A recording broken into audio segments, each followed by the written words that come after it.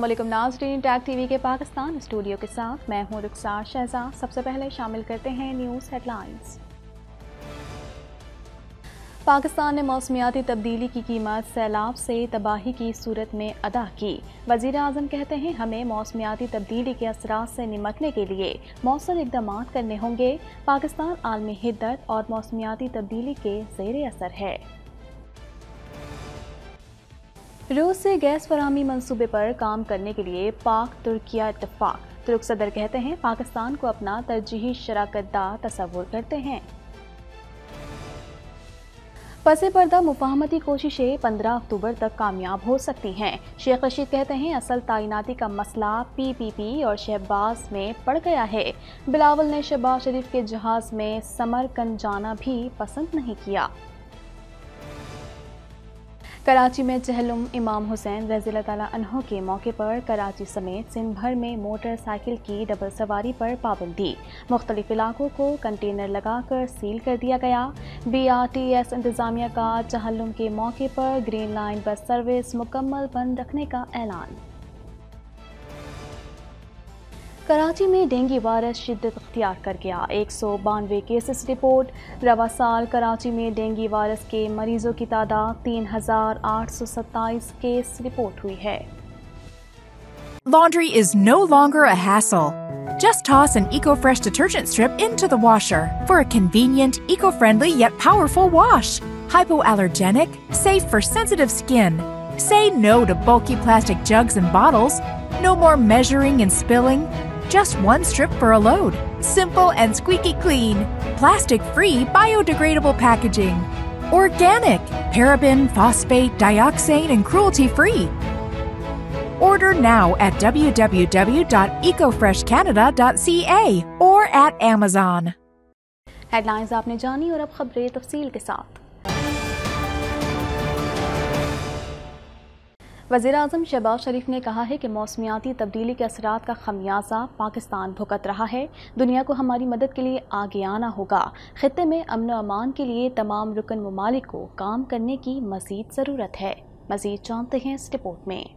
Shanghai ताउन तंजीम के सरबराही इजलास से खिताब करते हुए वज़ीर अजम शहबाज शरीफ का कहना था कि किसी भी सैलाब से इतनी तबाही नहीं आई थी जितनी पाकिस्तान में हालिया सैलाब के नतीजे में आई है। सैलाब और बारिश का पानी जगह जगह मौजूद है, जिसके बायस मलेरिया, डेंगू और दीगर बीमारियाँ जन्म ले रही हैं।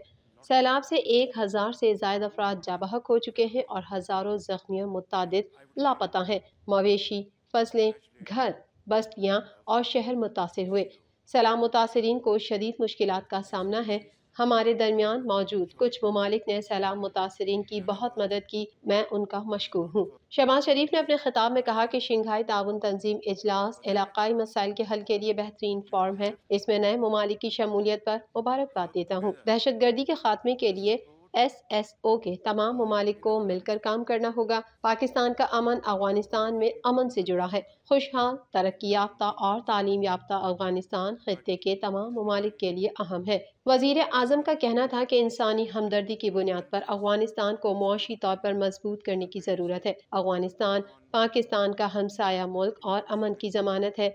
अफ़गानिस्तान को नज़रअंदाज करना बहुत बड़ी गलती होगी अफगान हुकूमत आवाम और अकलीतों के बुनियादी हकूक़ का एहतराम करे अफ़गानिस्तान में ख़वान के हकूक़ का ख्याल रखा जाए We will have to work together to support all good initiatives in Afghanistan for the good of people of Afghanistan in terms of education, health, jobs, opportunities, industry, agriculture, and all other related works for mankind. रूस से वजीरिया pipeline Pakistan को gas फरहमी के मुजवज़ा मनसूबे पर काम करने के लिए पाकिस्तान और तुर्किया के दरमियान इतफाक हो गया है इस हवाले से मजीद जानते हैं रूस से बजरिया पाइपलाइन, पाकिस्तान को गैस फराहमी के मुजवज़ा मनसूबे पर काम करने के लिए पाकिस्तान और तुर्किया के दरमियान इतफाक हो गया। वज़ीर अजम शहबाज शरीफ ने समरकंद में शंघाई ताउन तंजीम के सरबराहान ममलिकत के अजलास के मौके पर तुर्क सदर रजब तैयब उर्दवान से मुलाकात की जिसमें रूस से पाइपलाइन के ज़रिए पाकिस्तान को गैस की फरहमी के मंसूबे पर काम करने पर तुर्किया और पाकिस्तान के दरमियान इतफाक किया गया। तुर्किया के सदर रजब तैयब उर्दवान ने वज़ीर आज़म से गुफ्तु करते हुए बताया कि रूस, कजाकिस्तान और उज्बेकिस्तान में किसी हद तक गैस पाइपलाइन के लिए बुनियादी ढांचा पहले से मौजूद है। इस सिलसिले में दो तरफा तजारत के फरोग, गैस की फरहमी समेत लार्ज स्केल मनसूबों के इम्कान और अमल दरामद पर इतफाक राय किया गया। तुर्क सदर का कहना था कि हम जनूब मशरकी एशिया और मजमू तौर पर एशिया में पाकिस्तान को अपना तरजीही शराकत दार तस्वुर करते हैं। दोनों ममालिक के दरमियान नहायत मुस्बत अंदाज में ताल्लुक फ़रोग पा रहे हैं, जिस पर हमें बेहद खुशी है। वाज रहे कि दोनों रहनुमाओं के माबैन मुलाकात शंघाई ताउन तंजीम के रुकन ममालिक के रियासती सरबराही कौंसिल के अजलास के मौके पर हुई। अवामी मुस्लिम लीग के सरबरा शेख रशीद अहमद ने कहा है कि इमरान खान खूबसूरत स्विंग करा के अलग हो गया है।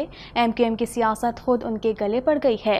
वक्त पर फैसले ना हों तो वक्त इंतज़ार नहीं करता। मजीद तफसी जानते हैं इस रिपोर्ट में। अवामी मुस्लिम लीग के सरबरा शेख रशीद अहमद ने कहा है कि पस पर्दा मफाहमती कोशिशें पंद्रह अक्टूबर तक कामयाब हो सकती हैं, वरना सड़कों पर जूडो कराटे होंगे। समाजी रबते की वेबसाइट ट्विटर पर जारी बयान में शेख रशीद का कहना था कि इमरान खान खूबसूरत स्विंग करा के अलग हो गया है। अब असल तैनाती का मसला पी पी और शहबाज में पड़ गया है। सबक वज़ीर दाखिला ने वज़ीर अजम पर तनकीद करते हुए मजीद कहा कि बिलावल ने शहबाज शरीफ के जहाज़ में समरकंद जाना भी पसंद नहीं किया।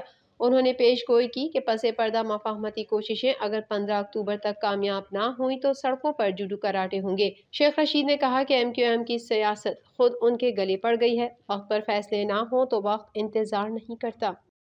महकमा दाखिला सिंध के मुताबिक अमन अमान की सूरत हाल बरकरार रखने के लिए मोटरसाइकिल की डबल सवारी पर पाबंदी लगाई गई है। महकमा तालीम सिंध ने चहलम के मौके पर सूबे के तमाम निजी और सरकारी तालीमी इदारों में तातील का ऐलान किया है। मजीद जानते हैं इस रिपोर्ट में। कराची समेत सिंध भर में चहलम इमाम हुसैन के सिलसिले में मोटरसाइकिल की डबल सवारी पर पाबंदी आयद कर दी गई। महकमा दाखिला सिंध के मुताबिक कराची में उन्नीस सौ बीस सफ़र को ज़िला गरबी किमाड़ी शर्की और वस्ती में डबल सवारी पर पाबंदी होगी। सजावल मोटियारी और जाम शोरो मीरपुर खास और नवाब शाह में 20 सफ़र को डबल सवारी पर पाबंदी होगी। हैदराबाद और सखर में 19 और 20 सफ़र, दादू और ठट्ठा में 19 से 21 सफ़र तक पाबंदी रहेगी। नोटिफिकेशन में कहा गया कि अमन अमान की सूरत हाल बरकरार रखने के लिए मोटरसाइकिल की डबल सवारी पर पाबंदी लगाई गई है। कानून नाफिज करने वाले इदारों के अहलकारों और सहाफ़ियों पर पाबंदी का इतलाक नहीं होगा। बारह साल से कम उम्र बच्चे, बुज़ुर्ग शहरी और ख़वान भी पाबंदी से मुस्तना होंगे। दूसरी तरफ़ चहलम इमाम हुसैन के सिलसिले में कराची के मुख्तलिफ़ इलाकों की अहम शाहराहों पर अमन अमान की सूरत हाल के पेश नज़र कंटेनर्स लगा दिए गए हैं। शहर कायद के अस्पतालों में डेंगू के मरीजों में इजाफे के बाद सूरत हाल संगीन हो गई। अस्पतालों में मरीजों की जगह कम पड़ने लगी। मजीद जानते हैं इस रिपोर्ट में। कराची में गुजशत 24 घंटों के दौरान डेंगी वायरस के मजीद एक सौ बानवे केसेस रिपोर्ट हुए हैं। महकमा सेहत के मुताबिक गुजशत 24 घंटों के दौरान सबसे ज़्यादा तिरसठ केसेस ज़िला कारंगी में रिपोर्ट हुए, जबकि ज़िला शर्की में पैंतालीस, ज़िला वस्ती में छब्बीस, ज़िला जनूबी में पैंतीस, ज़िला गरबी तीन ज़िले मलिर चौदह और जिला किमाड़ी में छह केसेस रिपोर्ट हुए। वज़ीर सेहत सिंह डॉक्टर अजरा पिचेहो का कहना था। रोज़ हमारे पास जो डेटा आ रहा है उसमें डेढ़ से 200 लोग रोज़ जो है मरीज़ ऐड हो जाते हैं इस, इस नंबर्स में। तो ये जो है फैलाव इसका बहुत ज़्यादा है।